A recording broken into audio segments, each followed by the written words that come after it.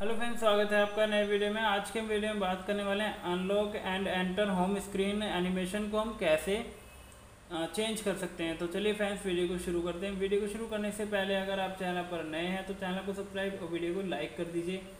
Friend जैसे कि आप देख सकते हैं, मेरे पास ये वीवो का फ़ोन है और आपको सबसे पहले क्या करना होगा, सेटिंग पर क्लिक कर लेना होगा। तो क्लिक कर लेते हैं फ्रेंड सेटिंग पर।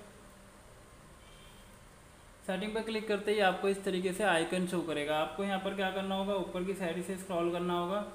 और यहाँ पर आपको दिखा रहा है डी नेम इफ़ेक्ट तो हम यहाँ से इसको क्लिक कर लेंगे। क्लिक करते ही जैसे ही हमने आपको वीडियो के शुरू में ही बताया था, जैसे आप देख सकते हैं unlock and enter home screen animation को हम कैसे चेंज कर सकते हैं, इस पर हम क्लिक करेंगे। क्लिक करते ही आपको इस तरीके से आइकन शो हो जाएगा। आपको यहाँ पर क्या करना होगा? आप चेंज कर सकते हैं डिफरेंट डिफरेंट टाइप के जो हैं, ये आपको दिखा रहा है। Free only by letter free out free in और फिल इन बाय लेयर तो ये आप देख सकते हैं, कोई सा भी आप चेंज कर सकते हैं, ये चेंज कर सकते हैं, ये चेंज कर सकते हैं।